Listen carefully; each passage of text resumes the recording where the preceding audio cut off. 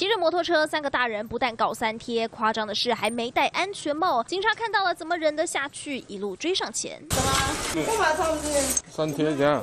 没有，左边有。几个人低着头不敢看远景眼睛，眼神闪烁，神情紧张，还一直遮掩手中皮包。远景直觉有疑。大哥是我的啦。好好了，不要停。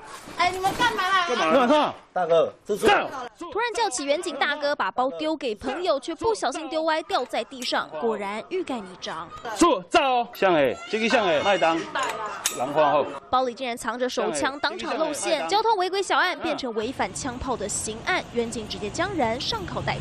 后来突然手一挥，将皮包丢进屋内，那没丢准，撞到大门，导致皮包松脱。远景眼睛发现皮包露出枪械。不过现在随便什么人都随身带枪，附近居民。也觉得傻眼。前几天有那个警察在注意，本来是条都派对啦，阿贝尔来的警察车后边。包包中搜出改造手枪一把和子弹五颗，而二十九岁翁姓嫌犯曾有枪炮弹药前科。这把枪究竟是准备作案还是寻仇？警方还要再深入追查。记者黄明君、范雅乔新北报道。我是王一中，新闻的产业带给我满满的使命感。不论是贴近民生的议题，或是国际的话题，我都能够精确、真实传达最完整的资讯给各位观众。当然，更多的新闻请锁定中视 YouTube 频道，记得按赞、订阅、分享，并开启小铃铛哦。